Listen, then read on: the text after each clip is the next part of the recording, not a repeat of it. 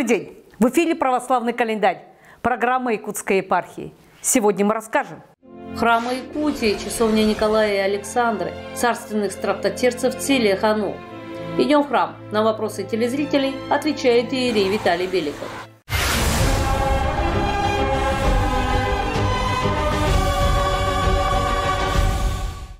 Священномученик Василий, пресвитер Анкирский. Священномученик Василий был пресвитером в Анкире Галатийской. Во время широкого распространения арианской ереси он призывал свою паству твердо держаться православия. Когда же в город прибыл император Юлиан, святой Василий на суде перед ним мужественно исповедал Христа, а императора обличил за отступничество. Юлиан приказал вырезать ремни из кожи со спины святого. Пресвитер Василий бестрепетно перенес эту страшную муку.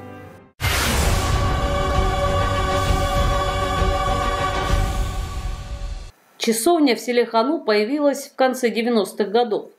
Тогда храм села закрыли на капитальный ремонт, и у прихода возникла необходимость в молитвенном помещении. Было решено построить маленькую часовню. И вот наша часовня была построена здесь как бы на, на, на границе. Здесь у нас получается граница, выезжаем в поселок, как бы форпост такой некий вот. Ну и, конечно, как бы кладбище, вот, тоже форпост свой, фор, фор, форпост живых и мертвых. То есть, вот. Поэтому мы, когда совершается Пасха, вот, уже на Радоницу приходим сюда, здесь служим, поминаем наших родных, близких, кого вот, служим на кладбище. Любое строительство на севере, особенно в Арктике, сопряжено с рядом трудностей. Острая нехватка стройматериалов, ограниченность во времени. Но, несмотря на сложности, часовню поставили и осветили – строили всем миром, мало, помалу все помогали, внесли свой вклад. Субботники устраивали, тут на дачу еду готовили, ребята тут у нас обедали. Ну, интересно было как-то, немножко с воодушевлением таким, с будущим. Когда часовню поставили, такая, как нам игрушечка казалась, а красивая, такая радостная, светлая такая. И все приходили, конечно, все приходили, любовались. А, надо сказать, что несмотря на то, что храм закрыли, потому что вынужденно был закрыт, а, там ремонт производился, проводили, да, ну, тут приходили много людей, хотя и это очень а, отдаленно, даже зимой, в жуткие жесткие морозы 50-55 градусов, вот верующие приходили. Часовня имеет алтарь, поэтому, несмотря на маленькие размеры, здесь может служиться литургия. Строительство таких часовен на севере благословил в свое время еще святитель Иннокентий. Они очень практичны, вместительны, не требуют много дров для обогрева и удобны для богослужений. В селе часовня полюбилась всем. Тут на кладбище у меня очень много лежат моих, мои близкие, знакомые. И это вот очень хорошо, что вот э, наш батюшка, вот отец Евгений, э, установил, поставил вот э, такую часовню, чтобы вот помолиться за своих близких, родных, знакомых. Часовня Николая и Александры, царственных страхтотерцев, стоит на въезде в село Хану. Она единственная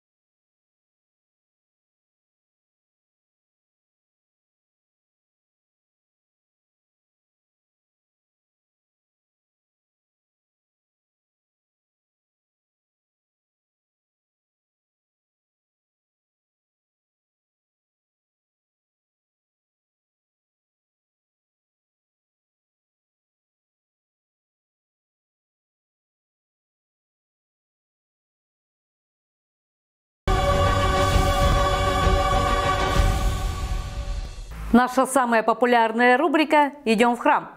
На вопросы отвечает Ирий Виталий Беликов. Телезрители спрашивают. Если не отпевали, можно ли поминать в церкви? Если человек был крещен, но похоронен без отпевания, гражданским прощанием, то можно ли его имя подавать записки на проскомидию? В целом, мы, узнав о смерти близкого или знакомого человека, уже в этот момент можем молиться о нем упокоении, подавать записки, служить панихиду даже до его отпевания. Очень часто бывает так, что человек попросту не имеет возможности физически присутствовать на самих похоронах. Находясь у себя дома, он может заказать в этот момент сорокауст, обратиться к священнику, чтобы тот помолился об этом человеке. Если не совершалось отпевание, можно заказать тот чин, который сейчас условно называют заучим отпеванием. Но вместе с тем не следует, заказав этот чин, оставлять храм, но важно участие человека, который просит об этой молитве. Важно, чтобы вы присутствовали на этом запокойном отпевании.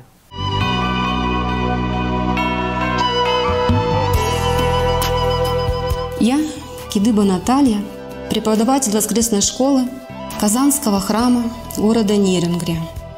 Мирская моя профессия – учитель-дефектолог реабилитационного центра «Сувак». Вся моя деятельность связана с работой с детьми. Дети бывают послушные и непослушные, но главная их особенность, что они всегда доверяют слову взрослого. Евангелие – это слово Бога. Для меня оно слово правды, которое никогда не лукавит, не обманывает. Оно истина, истинный абсолют, которое помогает в этой жизни выбирать те поступки, которые бы были угодны Слову Божию. И сейчас я прочитаю Евангелие от Матфея, седьмую главу.